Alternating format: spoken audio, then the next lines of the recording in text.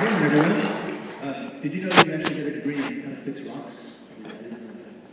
Uh, all right, so when I interviewed with uh, ASPRS uh, about a year and a half ago, um, they asked me if I had a sense of humor, and so you guys are going to find out whether or not I do.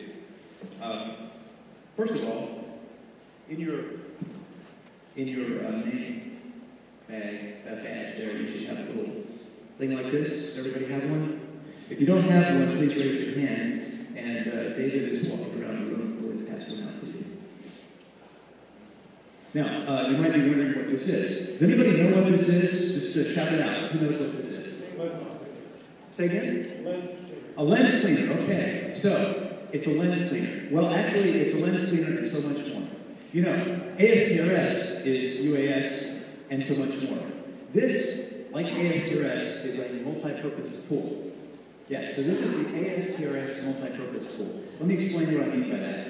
So not only is it a lens cleaner, so if you have eyelashes, you, you can take it out and clean your eyeglasses. But if you have contact lenses, you can also clean your contact lenses with it. But I do recommend removing them from your eye first.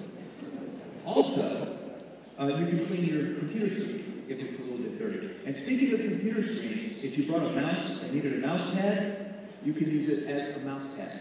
You can use it that way too. Now, uh, if you're in a formal situation and you forgot your pocket square, those of you wearing a, coat and tie, uh, you could you could use it as a pocket square as well.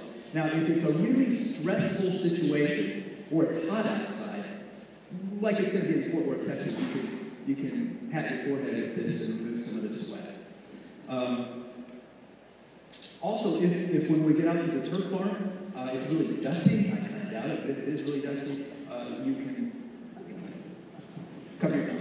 And uh, that'll be really handy. But what this really is, is an infomercial. This, this is a multi-purpose tool for ASPRS, but it's also an infomercial.